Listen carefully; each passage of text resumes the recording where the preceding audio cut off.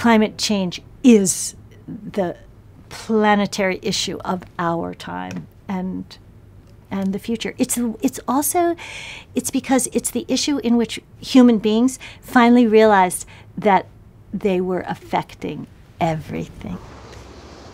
It's unusual for a scientist to speak so unequivocally, and it should give us some indication of the seriousness of the challenge that we face with climate change. Despite scientific consensus, there's been a lot of political divisiveness about climate change.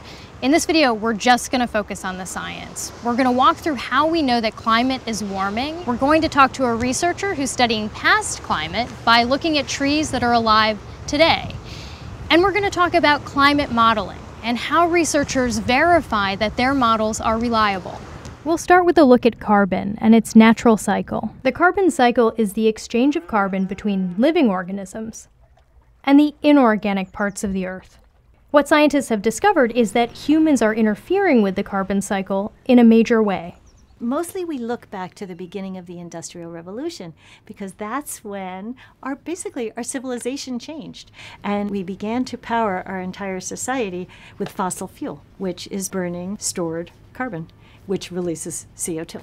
We've all heard that more greenhouse gases in the atmosphere, like carbon dioxide, warms the climate. But how does that work exactly? It turns out that uh, what these particular substances or molecules that we call greenhouse gases uh, have the ability to allow sunlight coming towards the earth from the sun to come in unimpeded. They're basically transparent to sunlight, but then they are opaque, relatively opaque to earth light or earth radiation going back out and so they light to capture that and in the process of capturing and absorbing that they warm up and they warm up the air around them what we're doing right now with human activities, unfortunately, is we're adding to this natural greenhouse. So you can think of it as starting from something that is good, the natural greenhouse, and adding to it, adding and getting too much of a good thing, if you like. The hockey stick graph, so called because of its shape, plots CO2 levels in our atmosphere and shows that for about the past 150 years, levels have been rising exceptionally fast and continue to escalate. When researchers talk about climate change, you often hear them refer to climate models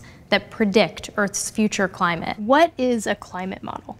Yes, well, first of all, I have to tell you what it's not. Sometimes very young students, like high school students, come and they say they've heard that they're going to work on the model. So they come in and they start looking around for a terrarium. You know, one of those things that, that has like a closed uh, with plants inside. Unfortunately, that is not what a climate model is. A climate model is a set of mathematical equations that solve the forces of our climate system that represent and solve for the dynamic movement and heat relations and precipitation falling down, what the oceans are doing, the cryosphere are doing. It's all represented by equations and the computer programs, when they hit the button to run a simulation, are solving those equations across grid boxes covering the entire globe. How do we know we can trust the models? Replication of findings, says Rosenzweig. There are now uh, about 30 global climate models with groups of scientists all over the world doing the same thing. And guess what? While there's they differ somewhat in their ranges because they're representing the processes. Those equations are slightly different from those from the scientists around the world, but basically all of the modelers when they do this experiment, uh, they get the same result. And that's really the fundamental heart of the climate change issue. How do our observations of weather fit with the climate change story? Like, take the winter of 2013 2014.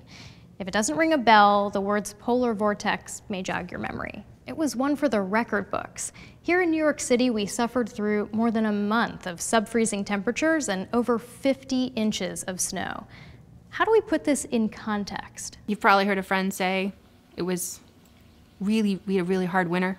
There was a lot of snow, so obviously there's no climate change. The thing to remember about changes in the overall climate is we're not looking at individual events. We're looking at the long-term trends. We're looking at the averages over time. Um, and it's really all about probabilities. And so when you start looking at the models for predictive models for what's happening with climate change, you have a higher incidence or higher probability of big events.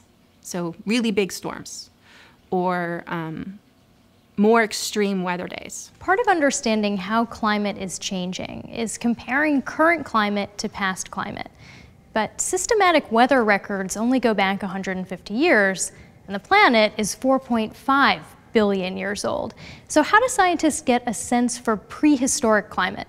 They call it proxies because they are uh, stand-ins or surrogates for something that we would like to know uh, more about.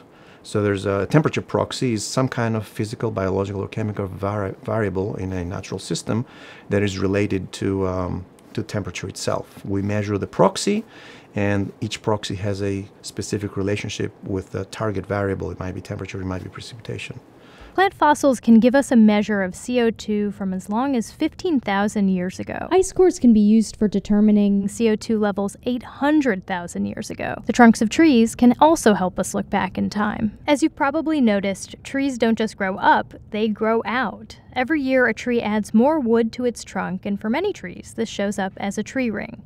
Climatologists can learn a lot about trees from their rings because climate and weather can influence tree growth.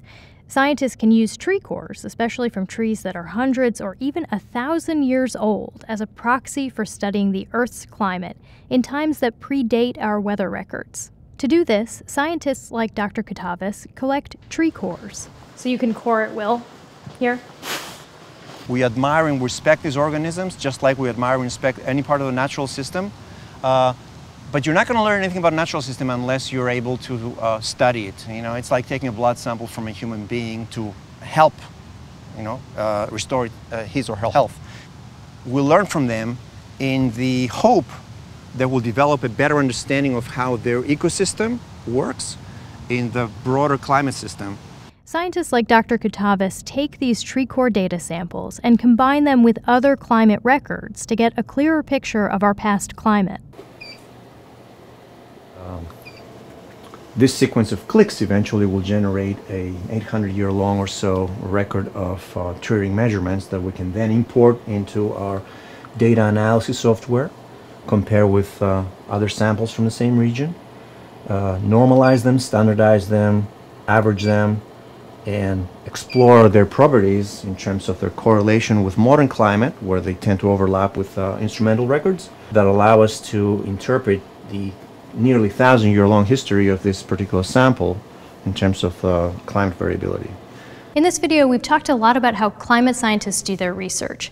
But what many people want to know is what does climate change mean for us? We already are seeing rises in sea level. We're already seeing more extreme heat days, hotter hotter average years than ever recorded before. It's not only the sea level rise.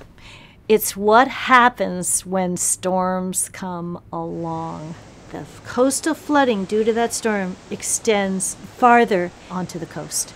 And that is the real danger.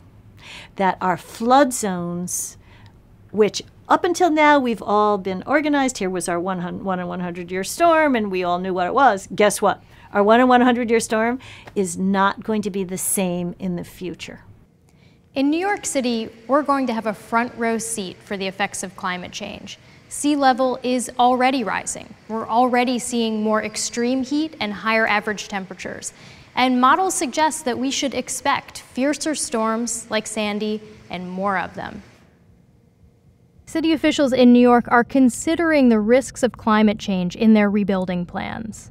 This is groundbreaking for the New York region, but not just for the New York region, but for the United States and actually for the world. It's a signal that increasing risks due to climate change, with higher sea level rise, no matter what happens to the storms, all coastal areas are more vulnerable. Do you get the sense that cities are taking this seriously? Absolutely.